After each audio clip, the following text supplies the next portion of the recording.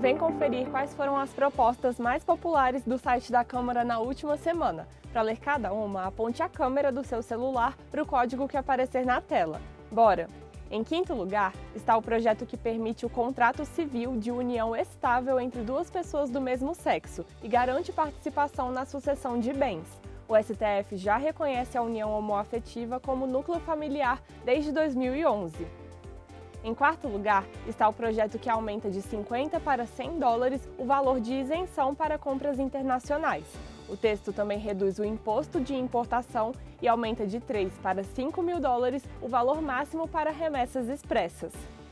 Em terceiro lugar está o projeto para que futuros médicos veterinários só exerçam a atividade se passarem por um exame de habilitação profissional.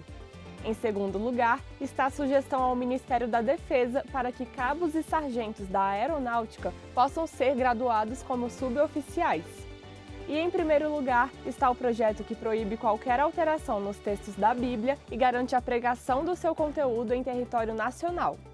É isso, você pode dar sua opinião na enquete de cada projeto de lei pelo site da Câmara. Confere lá!